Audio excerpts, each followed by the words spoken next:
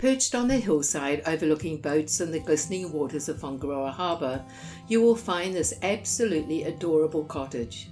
Built in the early 1900s and lovingly maintained over the years. The interior reflects the years of care and love by its owner, who has kept it true to its heritage. Front and side facing rooms take advantage of the spectacular views, and it's only a minute to the local jetty and all tide boat ramp. Meandering brick pathways and terrace gardens provide a backdrop to the elevated 1300 square metre section. There is a man cave on the lower level and a three car parking space.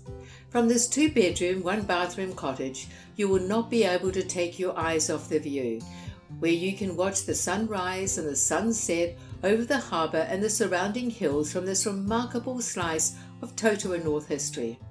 10 minutes to Kaeo, 20 minutes to restaurants and shops in Doubtless Bay, and 45 minutes to Kerikeri in the Bay of Islands. To view, call me, Leonie Mateer, One Agency Far North.